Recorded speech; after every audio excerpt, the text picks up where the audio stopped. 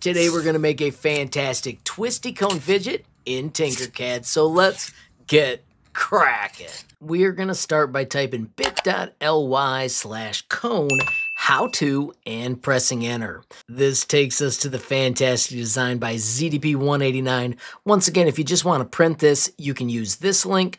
Of course, we're going to learn the how to and it's set to copy and tinker. So don't forget the golden rule of Tinkercad, give a reaction before you copy and tinker. This results in you having an exact copy of the original project along with the epic notes that ZDP has included to explain it. The first thing we got is a box, but it's been modified using the parameters. I'm going to highlight once again that if you drag the handles, you break these parameters. So the steps that ZDP followed, where we went out here and we did 1, 10, 2, 20, and 2. Watch how this changes. 1 gives us the awesome radius. There's the 10. Of course, this is a 2. And the height is a 2 as well. If we hit F for fit view, you can see that is all of a sudden a very smooth shape, which helps us build this. I'm going to move this one over here. I'm going to set it to the color blue. So now let's bring this shape over here with Control D. I'm going to make sure that it's far enough away that it's not running into that shape.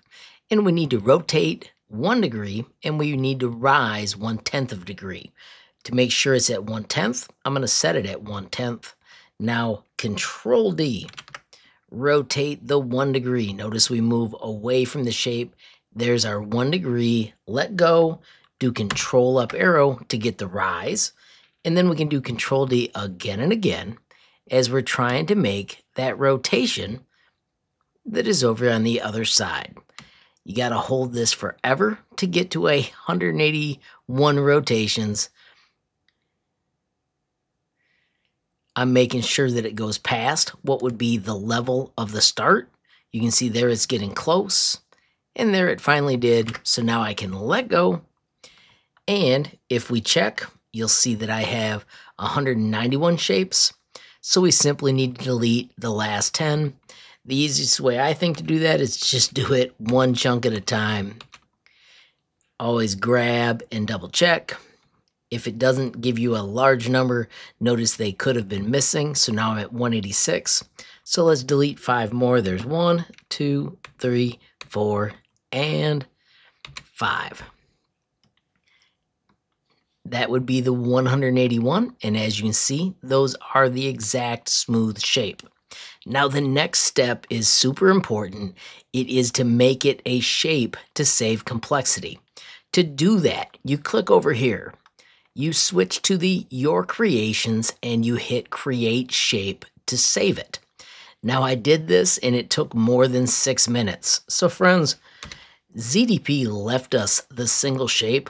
Let's use this to create our shape. Once again, you simply hit create shape, wait for it to arrive. And this one is complex as well, but you can see it arrived relatively fast. And I'm going to call this twisty solid. And I'm going to save the shape. With that one completed, we can move to this step right here. I'm going to show you the step super quick. It is simply scale the z-axis by 300%. Let's bring out our new shape just because we saved this. Notice we did have to wait for it to appear, and it does take a minute to arrive into our project. If you get impatient, you can add more accidentally. I have done that more than once or twice. And then we're going to scale Z with a percent. This is a real cool technique. Notice instead of a number, I simply type 300 and the percent symbol, press enter, and bam, it has now made that shape the correct size for our twisty solid over here. To make these, once again, there's a note and it says duplicate and rotate 45 degrees until you have four copies. I'll just move this over here and show you. Once again, Control D. Rotate 45 degrees, which is two clicks, or you can hold Shift and it's one click let go and do Control D again and again until you have the required four copies. That is how you make the solid. Friends, of course, the next step is to come over here and do the same thing. I'll show you real quickly. Here, we increased the hole, so there's a gap all the way around it. We went 1.1 and then 2.2, 20.2, and 2.2. So we added a tenth in every direction of the shape. Of course, there are 181 of these. You can see right here, it was made into a shape, same 300%, and then the same patterns. Once again, I did the steps to save this piece so I can use it in any project. I do want to also let you know if you ever have more of these than you want, you can click here and delete them. So friends, that's how the twisty cone was made. This is the incredible surface.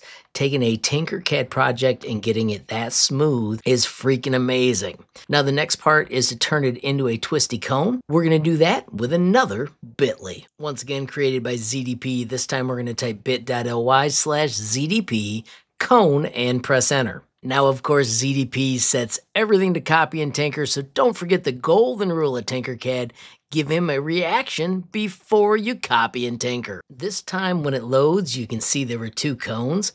If you're watching closely, you can see our twisted shape being cut with that inverse hole. We could, of course, print these right now, but instead I want to teach you how it works. So real quickly, I do not want to lose these, so I'm going to do Control D to make copies. Now because these are copy and tinker, we can simply hit ungroup to see that inside there is our twisty shape with a hole that is cutting like a cone. I'm going to do shift nudge to move that to the side so you can see it better. Notice it is also cutting off the three millimeters that was mentioned in the tutorial. I'm going to real quickly ungroup this again. I'm gonna do shift nudge to move it across, one, two, three again. And now we can take a look at this sweet cone. Notice the rounded top. Watch how this happens. I'm gonna hit undo. Notice it was a normal cone, but it has got this sweet shape right here. I'm gonna hide this so you can see the trick. It is another inverse hole that uses the half sphere from right here inside of it. It was set to the exact measurements that it would fit the edge of the cone, and then bingo, once grouped, you've got a rounded cone instead of the one that is truncated at the top. Once again, Control G to group. There is your sweet rounding. Of course, because this is an inverse hole, it needs to be set as a hole. And then we can shift nudge this back. There are the three clicks. When I group those two, making sure I don't grab the one behind it, it would have been slicker if I'd have done top view to grab those. Once again, two shapes and group. And when this finishes grouping, we need to switch it to the hole that then trims this cone to get the awesome shape that makes the project work. All right, so let's get this ready for 3D printing. I'm gonna quickly grab all these parts and I'm going to delete them. Remember, there are 181 shapes times 3 times 2. It's a lot of stuff in this project. Now I am going to ungroup this again because I do like the idea of showing you this. We don't have to group the holes before we send them. If I select this chunk and I choose export, I'm going to export as an STL. Notice it exports extremely fast. I'm going to call this UG cones for ungrouped and I'm going to save it. And then I'm going to do the same thing here. I'm going to ungroup this hole, grab those two parts and export them that way instead. STL. Note this time it is an inverse hole, so there is a slight pause, but bam! We're ready to save, and this time I'm going to call it UG cones, and I'm going to put a 2 after it. And hit Save Changes. I'm going to print these on my Bambu Labs printer. Once again, it's going to be a brand new project. Let's quickly hit add. Let's grab our two parts. I'm going to hit open, and I do want them to be a single object, multiple parts. Now before we print this, I'm going to change the size just a little bit. I found at this 52 millimeter size, it was a little too tight. So with uniform scale, I'm going to just change this to 60 millimeters and press enter. That makes the gaps a little bit larger as well, which worked really well in my prior test. Now to print this today, I'm going to use the 0.2 standard, and then I earlier printed a set of gray and a set of blue, so I ended up with two fidgets. If we hit slice plate, that took more than 51 minutes and I had to do it twice, you know, once for each color. So let me show you another technique. If we go back to prepare, I'm going to right click on this and I'm going to split it into objects. Now I can click on the second one, right click, and I'm going to change the filament to blue. Could have also used the paint tools. Those are fantastic. Real quickly, let me show you with it set up like this.